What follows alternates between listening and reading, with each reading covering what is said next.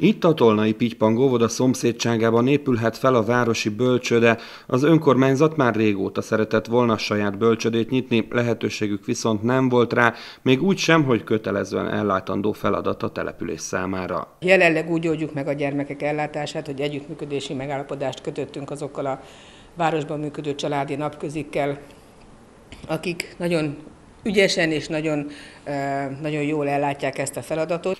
A területfejlesztési operatív programban 1,6 milliárd forintos keretösszegre pályázhatnak a Tolna megyei települések, hogy bölcsödét hozzanak létre, vagy a meglévőket fejleszék. Tolnán egy teljesen új épületet álmodtak meg, miután nem volt arra alkalmas építménye a városnak.